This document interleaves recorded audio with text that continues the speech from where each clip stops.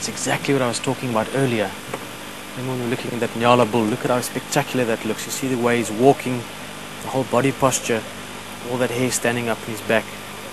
And he's doing that for the benefit of the other male, just showing the other male how beautiful he is, how healthy he is.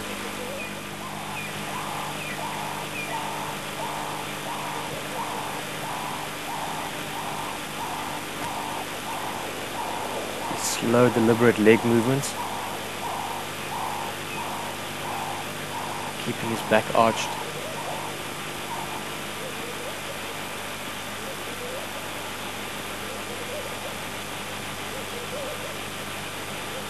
He's got an oxpecker sitting on the side of his face as well.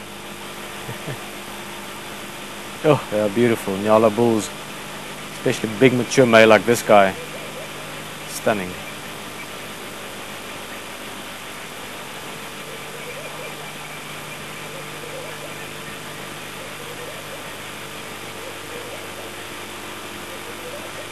See that crest on his back, that piloerection I spoke of earlier, makes him look bigger, it enhances or heightens his silhouette.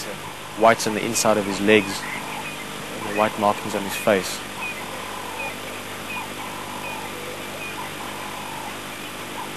So special to see that. I've seen that maybe over time, only a handful of times. A couple of times I've been lucky to see full on when they're actually competing with each other and they do that and they walk in a circle sort of nose to tail, where the one is right against the other one and they walk in this close line around each other. But in shape, if you look at the animal straight from the back, again, Nyala are designed to be very agile and very sleek through thick bush. It's lucky to see them out in the open. We can see more of them, but they really where they feel at home is in thick bush. So they're designed to be able to slip through brush and thorn bushes.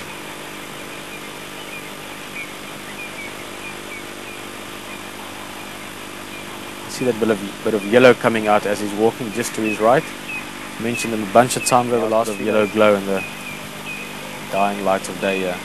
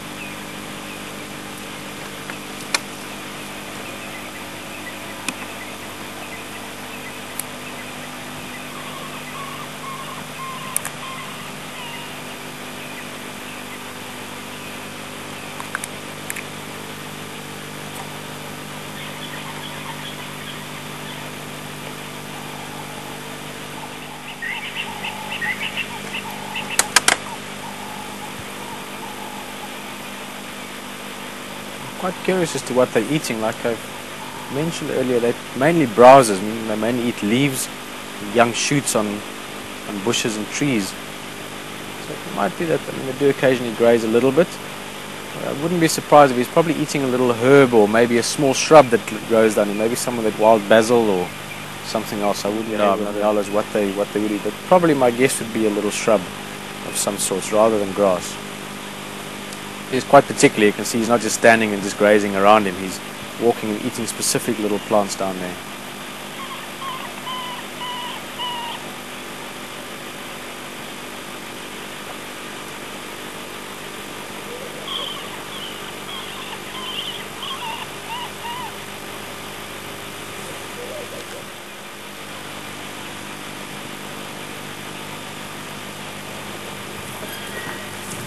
move a little bit forward. Try and see him from the side.